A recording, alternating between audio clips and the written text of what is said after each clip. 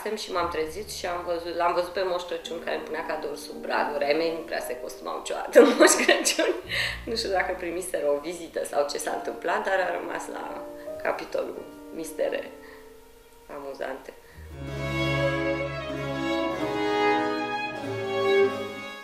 Mă îndoiesc, pentru că oricum sunt foarte puțini oameni care înțeleg în general ce văd. Mă rog, că cel puțin la nivel estetic, cu siguranță s-a urmat calea asta, asta se poate vedea. Acum se vorbește de un curent în moda românească,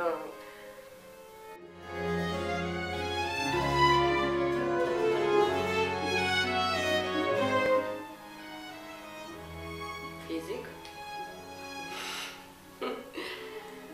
Ah, Cred că mi-a plăcut peste tot. Dar revenind, până la urmă un oraș e foarte frumos, dar uh, dacă tot revii și nu ai o viață în el, începi să te plictisești puțin de locurile doar de vizitat.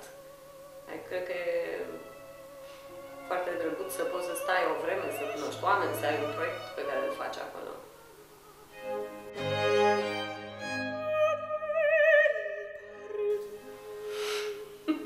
un loc de unde am vrea cu toții să fugim.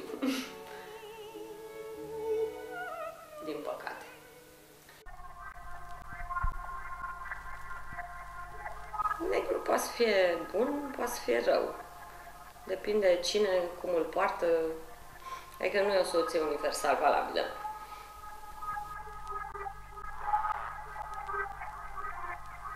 Adică am designer preferați, nu știu. Adică e Yamamoto, om de garson. am văzut că ultimul trend în Japonia e angajează tinere de 18 ani care creează design de, nu știu, din astea, cum poartă ele și se pun pe telefon. și este o mare hit.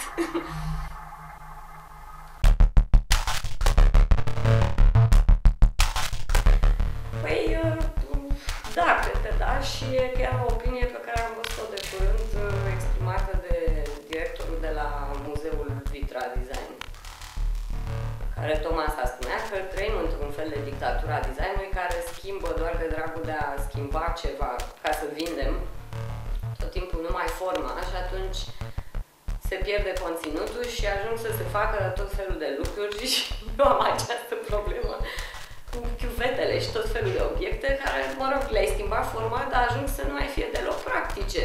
Ok, sunt frumoase, dar totuși ea ar trebui să fie o chiuvetă în care să pot să mă spun pe mine.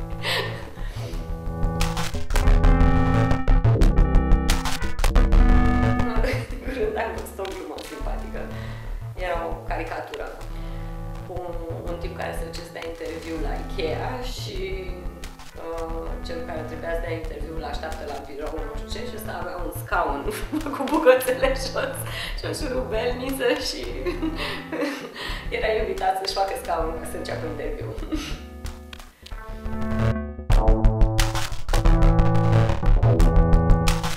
nu știu dacă e mai profitabil și, mă rog, cred că e o soluție personală pe care nu neapărat aș recomanda-o altora, că e destul de dificil să faci totul singur și să, nu știu, să te zbați cu lumea singur. Dar la mine așa s-a întâmplat.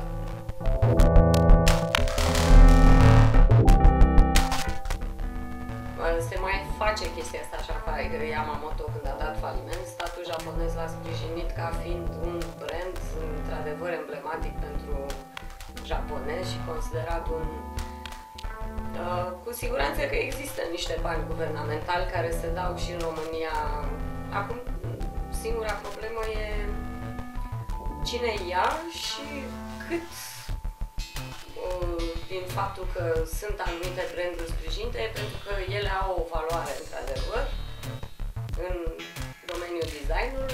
și simplu pentru că oamenii au acces la aceste fonduri.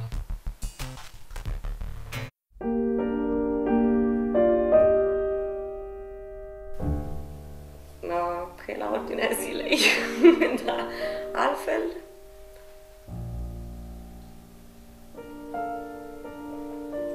nu știu, e un lucru gratuit pe care îl faci atunci când nu știi ce să spui sau ce să faci.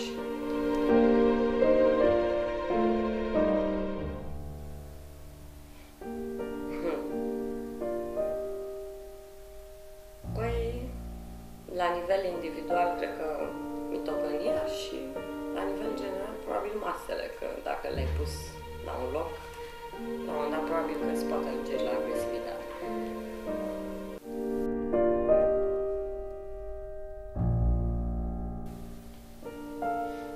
Mm, Cred că îmi plac foarte multe. Mă rog, Flamingo era o obsesiune de-a mea, tot vreau să fac o colecție.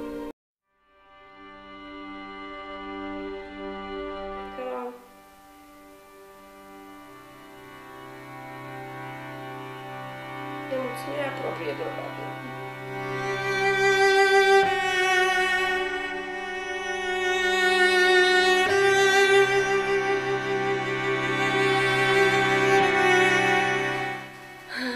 My life right now.